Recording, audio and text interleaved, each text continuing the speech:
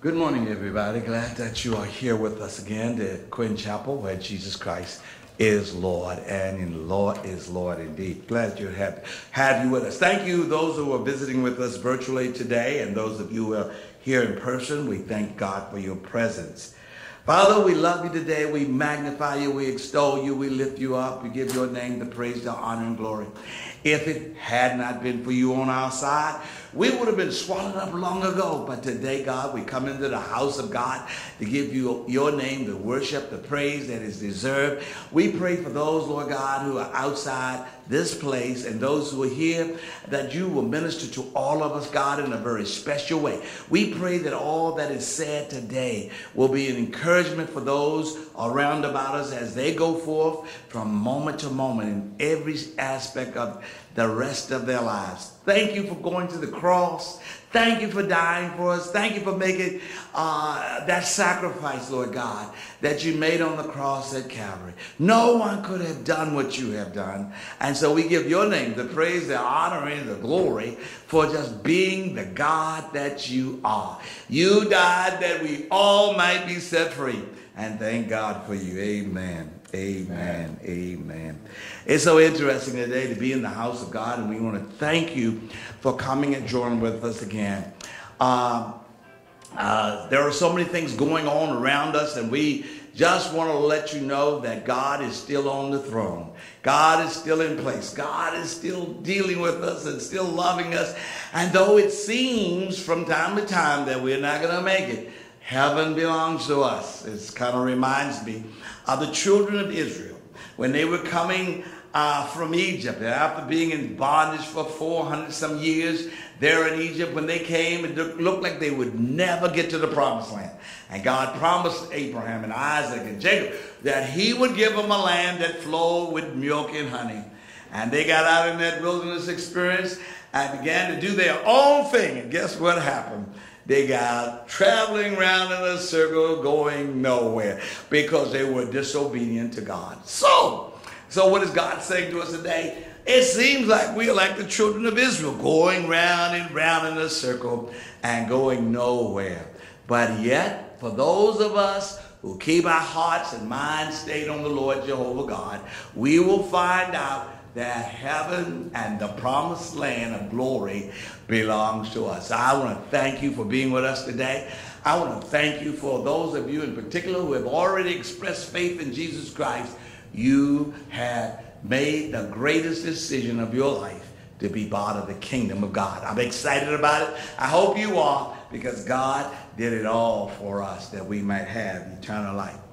Now, I see sometimes that people uh, they'll call you on the telephone and they want to know, they want to give you a package plan. They want to say to you, you can get call this number and you get two for the price of one and all that kind of thing. Aren't you glad that Jesus Christ made an offer greater than that? Do you know that if you come to Christ and your whole household come to Christ, you can get everybody in the house saved for one salvation, and that's the salvation of Jesus Christ. He paid the price no one else could pay to set us free.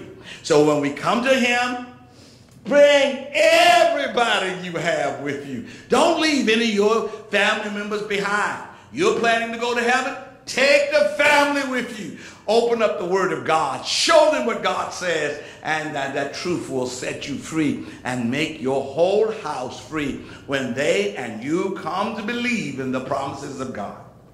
Now that talks about the Word of God and truth. How about that? The Word of God and truth. Do you realize that, that the world says this and the world says that, but God says this? Now we have a generation and a period of time that we're living in, and you must stick with God's Word. You must read God's Word. And when Joshua came out uh, to lead the people after the death of Moses, I think Joshua was a little upset about how he was going to do it because he realized that Moses was a mighty man of God and that he was just not up to the task from his perspective. And God told him, just as I was with Moses, so shall I be with you. Thank you, Lord. And he said, in essence, it wasn't Moses that brought the children over here. It wasn't Moses that brought them from the, over the Red Sea and through the wilderness experience.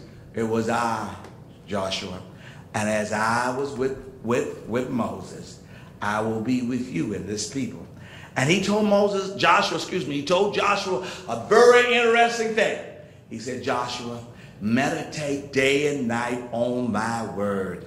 Stay with my word, and you will have good success and prosper. So, what we're saying here at Quinn today, but follow God's word. Uh, what we're saying is that if you follow God's word, you will prosper in the word of God. Sometimes the world says all kinds of things. It says, well, they say, um, uh, well, there are so many this and so many that. And God said, that ain't true. Huh? They said, well, there are uh, uh, so many sexes and so many uh, uh, this and that about this. And God says, no, no, no, it, it's not like that. How do you know? How do you know? God said in Genesis, I made them male and female. End of the story. All the other genders and all that other stuff is not of God. And that's why we here at Quinn are encouraging you, stay with God's word. There is nothing like God's word. Amen. Today we'll, we'll be looking at some things as Reverend Parker comes before us, and we'll be looking at some things as Reverend Wilson will come and share a word with us today. But we are involved with the truth of God's word so that you may be set free no matter where you are, no matter what your circumstances are. You can get the blessing of God through Jesus Christ. So let us look to God now again in prayer and ask God to bless us as they come and share with us today. Eternal God, our Father, we are asking you to continually bless us. If there be anybody in our midst, God, both here or virtually, who have need or stand in need of you, speak to their hearts today. Send the anointing of the Holy Spirit. Let them feel your presence. Let them know that you alone can meet all the needs of their lives. We are excited about what you're going to say to us today. We are excited about how you're going to encourage us. So we're going to ask Reverend Parker now if she will come and um, share with us uh, a scripture and share with us about this whole ministry of praying and seeking God, not only for ourselves, but for the whole world. Reverend Parker, will you come, please? I'll be back right after she finishes. Thank you, Pastor Robinson. Uh, it is good to be in the house of the Lord one more time where we as saints can come together and praise and worship his holy name. Uh, we have been um, asking everyone out there to uh, purchase a globe because the Bible tells us that God so loved the world that he gave his only begotten Son, that whosoever believed in him should not perish but have everlasting life. And the purpose of purchasing, purchasing the globe is to put it somewhere uh, where it will remind us to always pray for different continents, countries, and even people here that are in the United States, our leaders, our, our pastors, and everyone. So if you would like to be a part of this global prayer ministry here at Quinn Chapel, AME Church, under the leadership of our pastor, Pastor Robinson, uh, please let us know by purchasing a globe, or you can call us or get in contact with us to let us know that you uh, want to be a part of this awesome ministry where we pray one for the other. That information will be given to you at the um, end of this uh, service. And I would like to lift up our youth, those who are graduating, and actually people all over the world who are graduating, but especially uh, the youth, uh, those who have graduated. And um, there were there were an article about a U.S. Uh, baseball player, 18 years old, jumped off a boat in the Bahamas, and uh, he was celebrating finishing school. And it, and it said that it was a late night dare, but his split decision had deadly consequences. So as he slips into the dark waters um, that decision that he made, his parents, his loved one would never see him again. So we are praying that for the youth that during this this hot this um, season or vacation, that they will make godly choices and that they would choose life. We also praying uh, for their salvation, Amen. that we as Christians or their parents who are in charge of them, bring them to church. Uh, take them to Bible study, take them to vacation Bible school, uh, and be involved in their life. So let's continue to pray for them. The Inquirer reported that in Ocean City, shut down beaches early, uh, citing unruly teens. And the Ocean uh, City mayor there, uh, in a news release, issued that the police reported 999 incidents over Memorial Day weekend. So let us pray for our youth and continue to uh, uh, let them make godly choices. They say that um, uh, there were uh, underage drinking, there was vandalism, assaulting, and shoplifting. And so they lift the curfew there from um, from uh, 1 o'clock a.m. to 11 p.m. So if ever our youth and those that are all over the world need prayer right now, Father, we come to you in Jesus' holy and precious and righteous name. Lord, we lift up our youth, God, who are graduating. They are so excited. And sometimes when they celebrate, their celebrating may be a daily decision.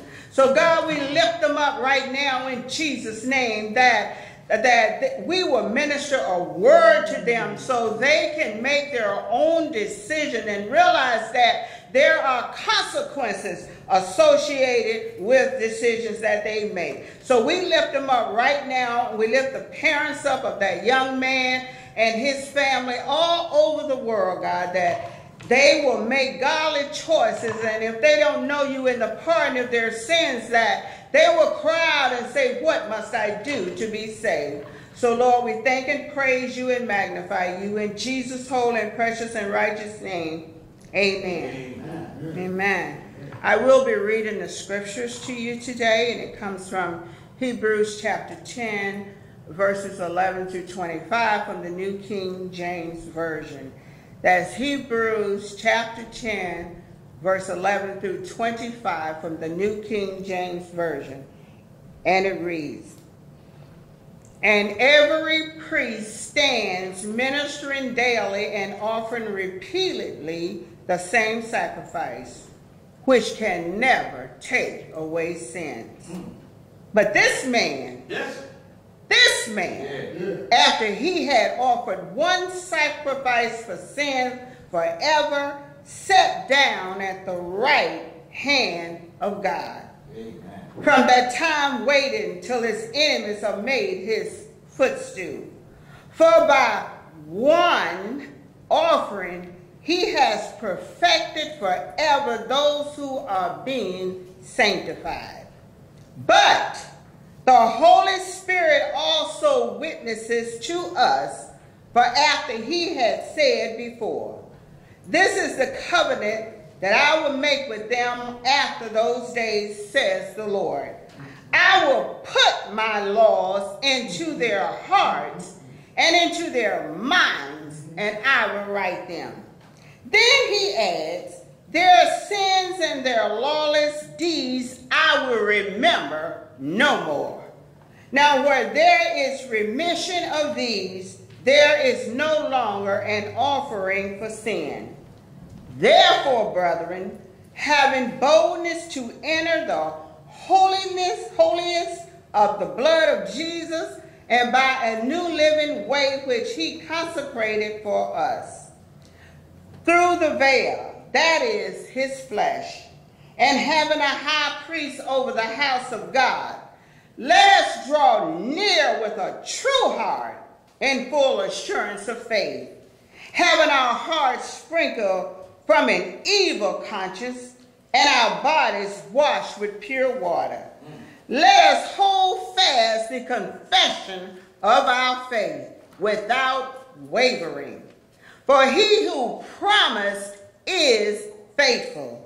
And let us consider one another in order to stir up, stir up love and good works, not forsaking the assembly of ourselves together, as is the matter of some, but exhorting one another with much, let me say that again, but exhorting one another, and so much the more as you see the day approaching. Amen.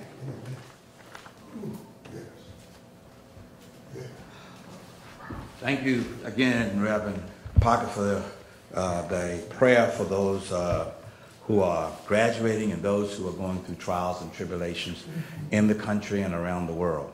And that statement you made about this young man jumping off the boat, jumping into the darkness, taking a dare, uh, is so heartbreaking, breaking, because after uh, 12 years perhaps of, high, of school, he had come to the point where he graduated. And here we find him making the wrong decision. We want to encourage you today all over the world, all over the uh, country here, that you make the right decision. Jesus is standing there waiting for you to make that decision that has to be made. And we that decision is to give your life to Christ. And so we are so thankful to God for just just for what he did on that cross today. So indeed, those of you who are out there and you're graduating, we want to encourage you. Hook up with Jesus Christ now. Do not allow the world to push you the wrong way because eternity is too long to live in the wrong place. Eternity must be lived in the a confident in the assurance of heaven where Jesus Christ has made provisions for you to enjoy the rest of your life. If you're in a restaurant sometime, they'll say, enjoy. And that's what God has made for you, provisions for you to enjoy the rest of your life. Don't jump into the dark because the dark can destroy you forever. So I'm looking forward to the word that's going to come forth today. I want to encourage you, uh, if you would find in your Bibles, find Hebrews if you didn't find it the first time, and follow with it as the preacher preaches the word today. Look at Hebrews chapter 10 in the New Testament, and he will be preaching uh, using the New King James Version. Uh, but whatever version you have at the moment, you use that version and you will find out that God is going to say something to us about not jumping into the dark because of the, the provisions he has made. He has called you and he has called me to be winners and not losers. Jesus is the winner man. Amen. So let's see what the word of God has for you and for me today. And let's look. Now we're going to ask Reverend uh, William C. Wilson if he would come and share a word with us. My brother, preach the word in Jesus' name. Amen. Amen. Hallelujah. Hallelujah. Hallelujah. To God be the glory for the great work he's doing in and around our lives. We just thank you, Lord, for your grace and your mercy. Whew. Yes, it is a beautiful day today. We're celebrating Communion Sunday. We're going to always honor him and make sure that we remember the work that he did on the cross. In fact, the scripture that we're going to cover today shows us and, and is a witness to us, a testimony to us that how God, in his wisdom, has changed the sacrificial system to a system that is one and done. I heard it done, I heard it said earlier, and I, and I read the scripture and I'm looking over and I'm saying that, you know, we need to prepare ourselves now because all the work has been done. Yes. All we have to do is be obedient and follow what the Lord has placed in our hearts to do. So we've been called for such a time as this. We're ministers, so uh, let me not prolong the word. Let me just lift up these words for your hearing so that we can have a focal point from which we're going to go from. I'm going to be reading Hold Fast for, for Your Confession. It's 19 through 25. And it's very simple. It's like this here. It says that, therefore, brothers, having boldness to enter the holiest by the blood of Jesus, by the new and living way which he consecrated for us through the veil that is his flesh, and having a high priest over the house of God. Man, that's awesome. Let us draw near with a true heart and full assurance of faith, having our hearts sprinkled with an evil conscience and our bodies washed with pure water. Let us hold fast the confession of our hope without wavering, for he who promised is faithful. And let us consider one another in order to stir up love and good works, not forsaking assembling of ourselves together, as it is a matter of some, a manner of some, a habit of some, but exalting one another so much the more as you see the day approaching. Amen. My subject for today is going to be perseverance. Jesus is the winning side. You need to have Jesus as you persevere to get you through. You're a winner. Don't count yourself short. You're a winner with Christ. Let us pray.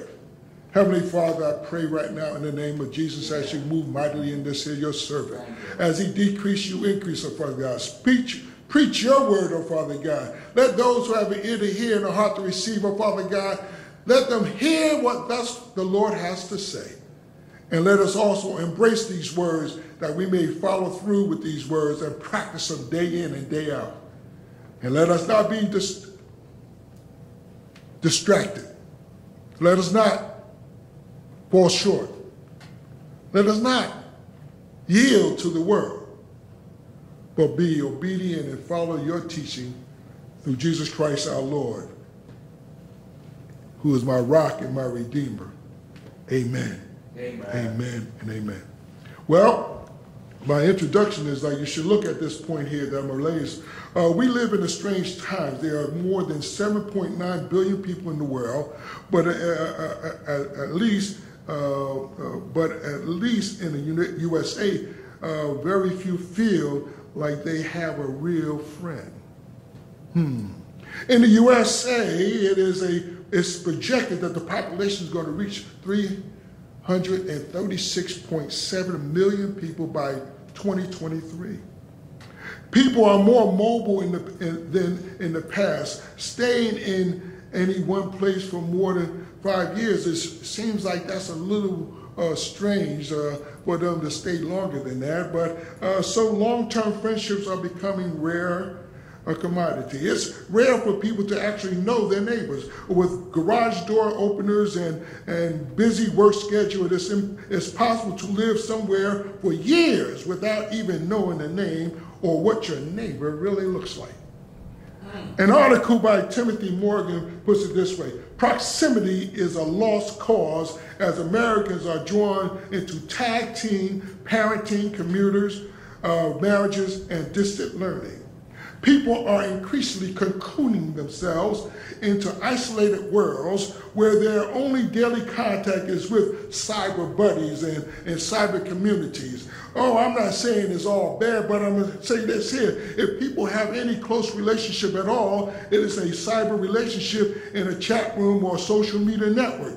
You know, Facebook, Twitters, Snapchat, and uh, Instagram, and others. In fact, nine, nine times out of ten, and way to we communicate with one another, we probably send an email or a text message instead of trying to call and talk to the person personally changing the rules of personal interaction uh, to civil discourse. The engagement of conversation intended to enhance understanding. It is a function of free speech. We use the media as a means to uh, form of freedom of speech to do the things that we don't normally want to do in front of somebody because we're afraid of confrontation.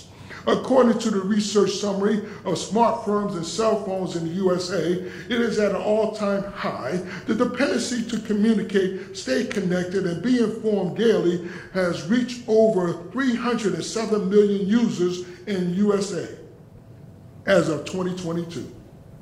With 85% of the user being not children, but adults. 47% of the web traffic in the US originates from a mobile device. The problem with us today is that we have we were not even created to live in virtual isolation regardless of the pandemic. God made us to be relational, real flesh and blood relationships, face to face, up close and personal relationship. The kind of relationship that make room for things uh, that like a hug or a pat on the back or, or, or, a, or a pat on the head or words of encouragement, a tear, a prayer, or maybe a, a good joke or a shared belly laugh gathering at cookouts or picnics around the kitchen and so forth. All these things have been put on the table because of the pandemic, because we have now went to social media. We have other alternative a way of gathering. Uh, the scripture that caught my eye more so than anything, it was not forsaking uh, the assembly of ourselves. Hebrews 10 25. It says, as it is some manner, sometimes we practice these things, but exhorting one another, encouraging one another, so much the more as we see the day approaching. We need to understand that here's my here's my here's my fear for it. We need to understand that we are relational. That's right. We have to be relational. We need to be with one another. We need to talk to one another face to face. Jesus did the th- same thing. He broke down the barriers, tore down the, the, the curtain. And I'm going to talk to you some more about that. But my title is Jesus, the winning side. Can you relate? I need to pray again. Lord, Father God, I just thank you right now. Yeah. Woo! I thank you because number one, we're losing our ways, oh Father God. We're not focusing on you. We're, we're trying to find alternative ways, oh Father God. Now we're going to introduce our artificial intelligence to be able to do more of the work instead of having people being able to be involved in, in the daily care of the, uh, of the world. My Lord, thank you so much for this word. Thank you so much for the idea that we need to be able to look to the hills right help coming from. We got to be able to be relating to one another constantly because we have Jesus as our source. He is the one who was our Redeemer. He's the one who did it all for us, and we're going to talk about it today. Lord, have your way with this, your servant, as he decrease, you increase, oh Father God. Lord, make your word so, magnify your word so much so that anyone who has an ear to hear will hear that's what the Lord has to say to them. In Jesus Christ's name we pray. Amen. I needed that because I needed to calm down because when I started looking at what's going on here, at, at, this exact moment, we understand that Jesus has already been to the cross. We know that he had changed the sacrificial system, that we no longer need to, to worry about what took place. Jesus established the church, the body of Christ, a people who will become and fellowship and break bread together. As we read the Bible forwards and, and backwards, we find the different groups of people coming together on one accord, worshiping God. Isaac, the God of Abraham, Isaac, and Jacob. What do you find in Scripture is the church is fellowship. Koinonia is a Greek word that they use, and it means fellowship or communion uh, uh, with God, eh, or more commonly uh, with fellow Christians, or sharing our life with one another. Don't you know that we get together and we talk about our life's experiences, what we've been through, what we had to deal with, and then we by sharing our us our life stories or so, which is our testimony, we can be encouragers to others and let them know that they're not alone, that they can also rise above their circumstances and situation and be able to share their life with someone else, to be an encourager to someone else. And as you keep this thing going, that we become more uh, uh, uh equipped, stronger, be able to overcome some of the situations or challenges of life that we have to deal with. In fact, we don't share life too much. We are not like the church at all because we tend to want to remove ourselves from situation. An article in Reader's Digest uh, called What Good is a Tree? It explains that when the roots of trees touch or don't touch, there is a fungal substance present that reduces the competition. In fact, this unknown fungus helps link roots of different trees, even uh, dissimilar species, in the whole forest. And what I'm trying to say is that they don't touch because sometimes there's a competition going on. But this fungus seems to keep a little barrier, keep them in, in, uh, in harmony. Uh, the whole forest may be linked together. If one tree has access to water, another may have access to nutrients, and a, third to sunlight. The tree has means to share with one another. uh, the resources that's available. Like trees in the forest, Christians in the church need to support one another. That's my point. Look again at verse 26. This verse says that I believe speaks more to, uh, uh, more to us than making sure we have the perfect attendance in church. I think we need to guard against isolating ourselves from the rest of the body because it keeps us from being, being able to encourage one another and help us drift away. And I'll talk about that some more a little bit later on. See, there's a story of a man who, who missed church for a number of weeks. I, I know there's some more that missed it more than a couple of weeks, but I'm not going to talk about them. Uh, the preacher had often called him and asked where he was, but the man kept putting the preacher off. Finally, one day, the preacher stopped for uh, stopped by for a visit right. on a cold winter day. Mm. The man was sitting in front of the fireplace and welcomed the preacher and tried to engage him in conversation. However, the minister didn't say much. He just walked over to the fireplace, pulled out, pulled one of the logs away from the flame, and, and then went and sat down. They sat there in silence for, longest, for the longest time, watching the fire. And as they watched, the log that set off by itself, the fire on it began to smolder and it went out. The preacher and the man sat for a long time looking into the fireplace. And then the man said, Okay, I'll be at church next Sunday. But the truth is that developing real relationship is not easy. And if you didn't get the, the moral of that story, it says that that log by itself, once you take it out of the fire, cannot sustain itself for a long period of time. Eventually, that fire that it had is going to smolder and going to go out. So it got to be connected to the big fire in order for it to be able to maintain and keep on burning. But the truth of this delving relationship, again, is easy, not easy. Because there, that's why in Hebrews uh, we give five specific calls to action. Each one is preceded by the words, let us. Uh, I want you to follow me as I go forth from this point on to talk about the let us uh, verses and so forth. But I do have to, I, I always got to go back. I always got to go back. I always got to go back. Let you know that there's some things you need to understand before you can go forward in order to follow these, these schemes and these themes that is going to be presented to you today. Uh, I, this morning, when I was working on the scripture and so forth, it seemed to me that God has a tendency of giving you so much information. I'm not going to try to feed you all of it because, number one, I just got a little pocket of time. But I want you to understand that there's more. You have to go ahead and read the scripture for yourself. You got to study the word for yourself.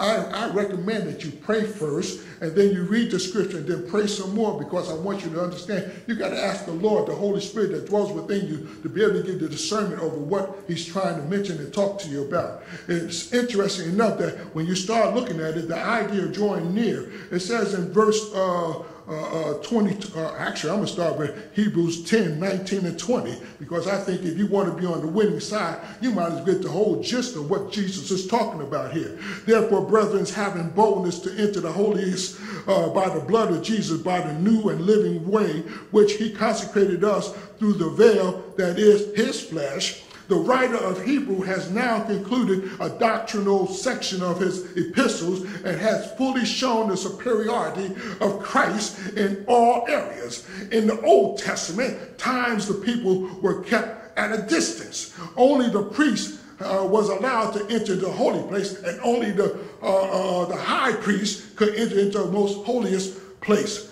No one else was allowed. And you had to be a Levite in order to be a descendant from Aaron.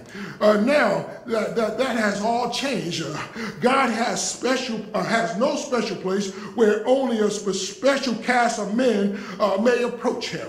Instead, all believers may come into his presence by faith at any time and from any place on the earth. Our approach is by a new and living way it is a, a new way because the death of Jesus on the cross was created, uh, uh, uh has created a completely new situation. The way to be in the old covenant neither gave life nor removed liability to death. It was an interesting thing when you look at that. It says, no liability. Well, how's that? The way to peace and reconciliation was established because if you look at what it says here, it said, well, he established a new situation. The old covenant gave life nor remove liability to death. The way to peace and reconciliation under the old covenant was through the dead bodies of animals slain. But Christ is living and even lives to make intercession for us. Therefore, he is the new living way. My Lord. Through the veil, the high priest lifted up or drew aside the veil to, that separate the holy from the most holy, holy place. Oh, that he might have access to the divine majesty. And now the veil has been ripped from the top to the bottom at the crucifixion of Christ to show that the way to the holiest of holy uh, was then laid open. It means likewise, our approach to the throne must be through the mediation of Christ and his sacrificial death. His his side is the way to the holiest. Ah, oh, here the veil, his humanity is rent and the kingdom of heaven open to all believers. Remembering every time we enter God's presence, we enter in, with prayer and with worshiping. Let us remember that the privileges was brought for us by a tremendous cost. Jesus on the cross. Hebrews 21, it says here, having the high priest over the house of God, we have a great high priest. I want to say that again. We have a great high priest. Be confident know that we have a priest who's been through everything we ever been through, who knows us more than we know ourselves, and he's been able to stay faithful without sin and paid the price that we could not pay. He is the one that's looking over us from day to day. He's the one that's praying for us day in and day out. Even in John 17, when he was on this earth in his humanity, he prayed for us. Those who was with him, those he prayed for himself, those who were with him, and those who have not seen him at all. Hmm. To God be the glory. Let us draw near because even as we are priests according to 1 Peter 2 9, uh, we yet we still need a great high priest to cover us. Let us draw near with a true heart and full assurance of faith, having our hearts sprinkled from an evil conscience and our bodies washed with pure blood. Oh, that's what Hebrews 10 22 talks about. It talks about that this believer uh, uh, uh brought, uh, uh, brought privileges it was the blood of Jesus that brought us the privilege to be able to go and confront and draw near to God. How wonderful uh, beyond all words that we are invited to have an audience, have audience with the Most High God. Oh, not with this world celebrate, celebrate. We can't even visit some of the ce uh, uh, celebrities that we have in this world today. But we can go to God anytime. But with the sovereign God of the universe, he's available 24-7. This, there is a fourfold description how we should spiritually groom ourselves in entering the throne room, and that's what we're going to talk about right now. It says here, with a true heart. The, the people of Israel drew near to God with their mouth, honoring him with their lips, but their hearts were often far from him. Our approach should be with utter sincerity, genuineness, authenticity. We should not be faking it. We should be real about our feelings and how we should go to God uh, with a true heart. In full assurance of faith, we should also, uh, in, in full assurance of faith is the second point, we are to draw near with utter confidence in the promises of God and with a firm conviction that we shall have a gracious reception into his presence. I remember uh, back in Exodus, I think it was 32 or 33, I remember that, uh, that the people sinned so bad that God could not dwell among them and come in their presence because if he did, he might consume them. So what he did was he stayed away from and told Moses, I can't come down there because if I do, I, am going to I'm going to I'm going to hurt these people. So he said, well, Moses said, okay. Uh, he took his tent and went outside the camp. He went far away, uh, made big distance between him and the camp. And then he set up his camp. It's called the tent of meeting. And there at that place is where he and God met. And everybody else watched from a distance because they knew if they had to go be with God, they had to come individually, one by one from the camp, to go out to where Moses was in order to have a fellowship. It's an interesting thing because they could not, God could not come in their presence because it was contaminated. He got to protect his holy. Yes, yes. He's holy. And he's always going to protect his holiness. And then we, here's another point. Having our hearts sprinkled with uh, from an evil conscience. Uh, uh our testimony is uh, conscience now no more condemns us. For his own most precious blood once for all has washed and cleansed us. Cleansed us in the eyes of God. What he's saying is that along with this other part that I gotta can't I can't separate it because they both the, they both the heart and the body goes together. Our bodies are washed with pure water, and it's symbolic. It's all symbolic language, but the refer, the reference is that the sprinkled hearts and the washed bodies should be taken together. See, the washing of the body with pure water is a reference to baptism. See, uh, in the baptism part, is a baptism is the outward sign of an inward change, of an inward cleansing. And it was, and it was the latter that was the more important. Now let me talk to you about this, this baptism. When, when Jesus Christ was back, uh, uh, baptized, he rose up and had the Holy Spirit. But when he was dead and buried, our sins went, was buried with him, and they all was disbanded. He paid the price that we couldn't pay. So we was baptized in his death as well. And when he rose again, we were justified, clean slate. So we don't have to worry about our past sins because they all have been forgotten.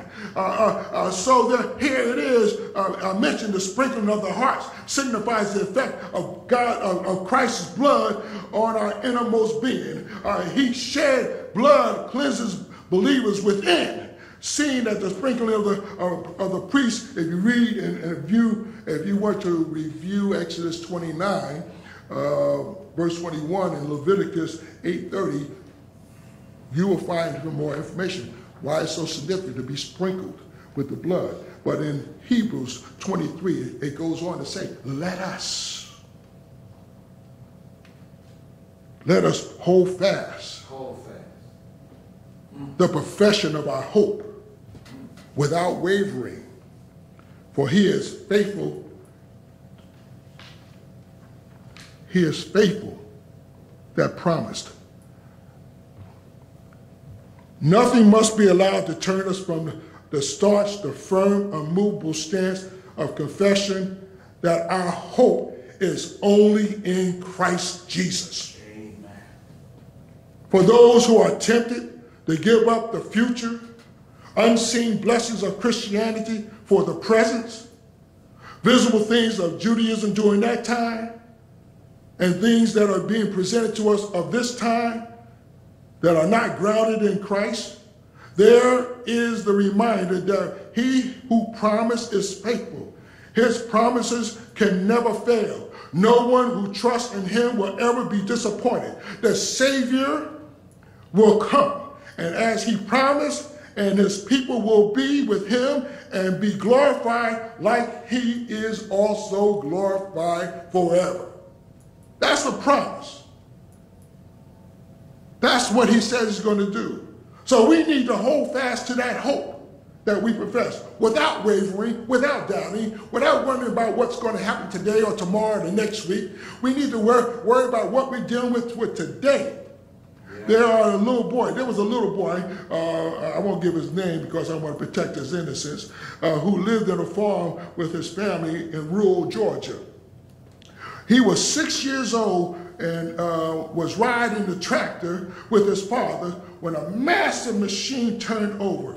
The massive machine turned over. The little boy was hurt so badly that he lost the use of one of his arms and suffered damage to the other.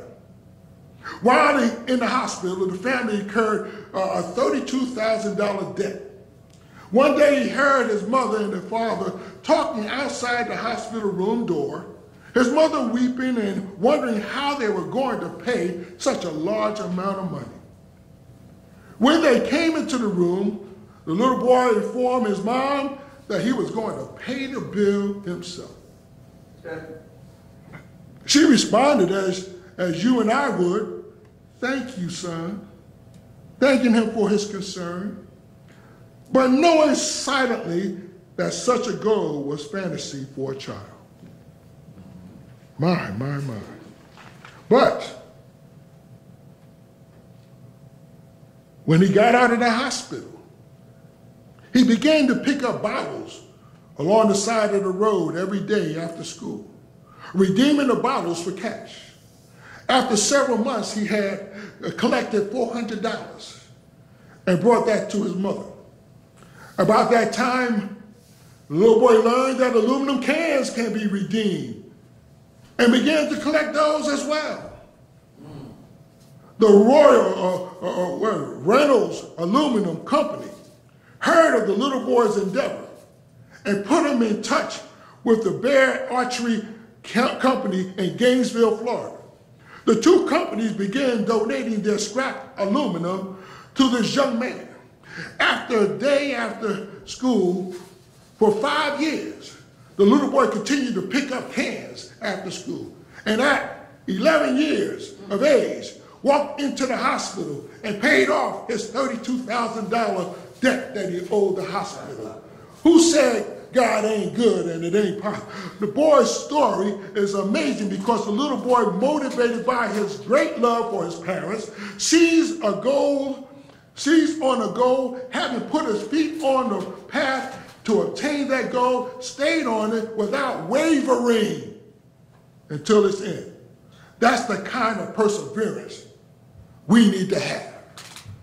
We need not to worry about what uh, uh, uh, the, the pandemic did. We don't need to worry about what, what, what, what your financial or homelessness or your physical ailments may be or your cancer, whatever you have. We need to understand that the basis that we can hold on to our hope in Christ without wavering. He is faithful that promise. He is not going to fail you. If you have a track record with Jesus, when you look back over your life and see what you've been through, all the hills you had to climb and all the valleys you had to go through, all the mountains that you had to deal with, you know that Jesus was there with you because if he had not been on your side, where would you be right now?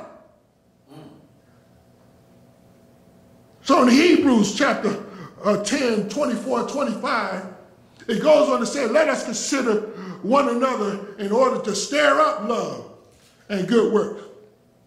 I, I, I want to let you know that one thing about love, love, love is something else.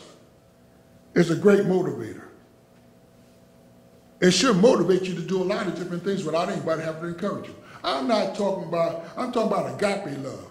I'm talking about the love that says that I love you enough that number one, I don't care what you're dealing with. I want you to be stronger. I want you to be faster. I want you to be able to endure. Last week we were talking about uh, how we should be able to endure certain things and be able to rise above uh, our circumstances situation because you have given us the strength. You are our, uh, you are the one that motivates us, that move us, that we could go ahead and run the race and pass the baton and don't have to look back because we have the confidence that we know that once we got it, we can go ahead and move forward with our lives and so forth. We, we should take time and discover ways of encouraging fellow believers to manifest love and to encourage them to do good works. In the New Testament sense, love is not an emotion, but an action of the will. We are commanded to love, therefore it is sometimes, it is sometimes, it is sometimes we can and we must do. It is something that you must do. It's something that I know you can do. There is no reason why you cannot motivate. There's no reason why you cannot do things. Love is the root. Good works are the fruit. here are the author, uh, the author is trying to tell us, speaking in mutual activity, is one in which believes encourage one another, not one where leaders direct the rest as to do what they need to do. The danger is we become so involved in this world, we forget the other. See, we need we don't have to be prompted. I think it's in Colossians talking about, I don't work for man, I work for the Lord. What I do, I do to, to please him. He is the rewarder. Uh, he's going to be my rewarder. And whatever I do, I do because of the love that he shows me. I can show love to someone else, despite how I feel about them. Mm. The phrase stir up means to provoke. Sometimes you think of that as in, in a negative but I'm thinking of in a positive. It's a way to motivate, to excite, to inspire someone to take it to another level. It is used to positively to urge and to stimulate. Christian love to stir up one another in agape love so they can do more works. A lot of us sit on the pine oh, I don't want to say that. I don't want to talk about laziness. I don't want to talk about insensitivity. I don't want to talk about the lack of I don't care. I, I did mine earlier, so I don't do no more. Don't you know that your work is not done until God calls you? Go ahead, preacher. Corporate worship is important. We must worship together with other believers. So prayer is, is primary. It's important. It's a tool that we must use. But I don't want to just stop there. I want to go to the other part of the verse, 25. It says, not forsaking the assembly of others, not, not forsaking the assembly of ourselves together, as in the manner of some. That means some people practice, have a habit of not wanting to be uh, with anybody else. They want to be isolated. They want to be into themselves. They say, I don't need nobody. But see, you're not understanding that God didn't create you, created you to be, I don't need nobody person because you need somebody. You may have somebody, you don't even realize you don't want to admit it, but you do have somebody. You have somebody working in your life every single day. You have Jesus working in your life. You don't see him, he's there because he knows that sometimes we are hard. Oh boy, he calling people names. Sometimes we're so stubborn and we think that we got it going on, but that we can't take advice. But when God has a way of wanting to talk to you, he may use somebody else to give you advice that you're slacking on one thing. And you need to come into the assembly to be able to get the necessary nourishment, the necessary motivation, the necessary uh, tools and so forth to be able to go to another level because you can't do it by yourself. No man is an island. That means no man, no woman, no child, no boy. No man, woman, boy, or girl can be said they are an island unto themselves. You can't do this by yourself. You got to be in the corporate face. You got to be in the family. That's why everybody who has a family, you know what I'm talking about. You can't do it by yourself. If you think you can, you'll find out the consequences for your action. There are some who, uh, uh there are some among those in the audience of the author of Hebrews who had abandoned the habit of meeting together. They, they, they, they, they, they may be some who think it's still possible to live the Christian life while abandoning the habits of worshiping with God's people. Uh, this should not be the case. The New Testament lends no support to the idea of lone Christians. There's no such thing as a lone Christian out there. Close and regular fellowship with others, believers, is not just a nice idea, but also an absolute necessity for the encouragement of Christian values. Uh, let me put it this way iron sharpen iron. If there's no other iron around, how you going to get sharpened? You can't do it by yourself. You need Christ Jesus. You need that influence. You need them to be over there. The exhortation is very important because I'm encouraging you. Take take a, uh, the, the exhortation that I'm talking about takes on a sense of urgency for you to see the day is approaching. I don't know when the day is going to come. I don't know the minute. I don't know the hour. I don't know the hour or the week, the month, the year. All I can do is look and see the signs that the time, end times are coming. The day has, here has overtones of the Old Testament prophetic tradition that speaks to the day in which the God will judge. A tradition that is maintained in the New Testament. Uh, you can refer to Joel chapter 115, or you can refer to 1 Corinthians 1 8, or 5 5, or 1 Thessalonians 5 2. The day of the second coming is approaching when things as we know them will end. So, we must do all the good we can to all people we can in all the ways we can. In conclusion, we have significant privileges associated with our new life in Christ. We have personal access to God through Christ and can draw near to Him without an elaborate system. We may grow in faith, overcome doubts and questions, and deepen our relationship with God. We may enjoy the encouragement from uh, one another. We may worship one with another. We may worship together and not separate. Uh, to neglect Christian meaning is to be is to give up the encouragement and the help of other Christians. We gather together to share our faith to strengthen one another in the Lord. As we get closer to the day when Christ will return, we will face many spiritual struggles and even times of persecution.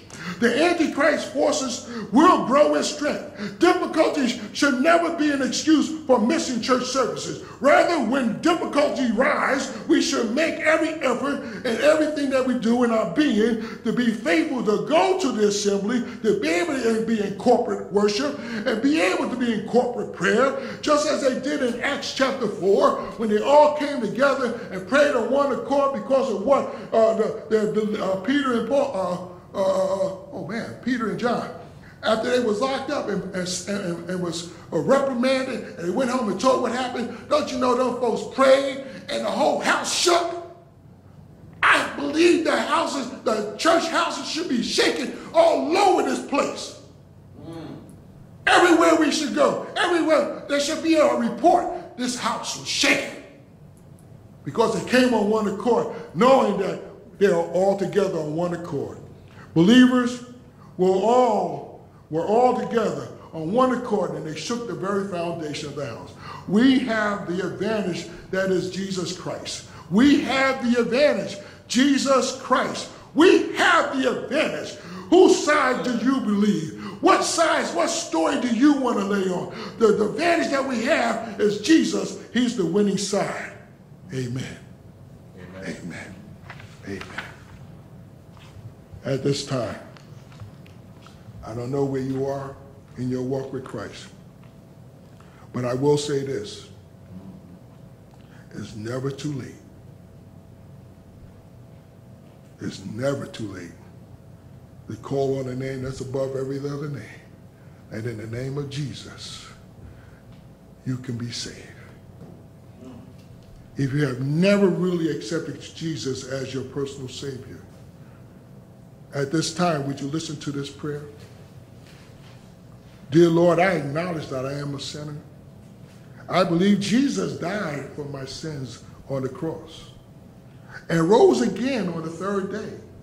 I repent of my sins. By faith, I receive the Lord Jesus as my Savior. By faith, I receive the Lord Jesus as my Savior. You promised to save me, and I believe you because you and God cannot lie. I believe right now that the Lord Jesus is my personal Savior and that my sins, that all my sins are, have been forgiven through the precious blood. I thank you, dear Lord, for saving me. In Jesus' name, amen. If you pray this prayer, God heard you and saved you. I personally want you to welcome you into the family of God and rejoice with you. Because now you're part of his family, the body of Christ. And one day he's coming back. And when that day comes, you're going to be caught up with the rest of us First, those who are dead in Christ, and then those who are alive will be caught up.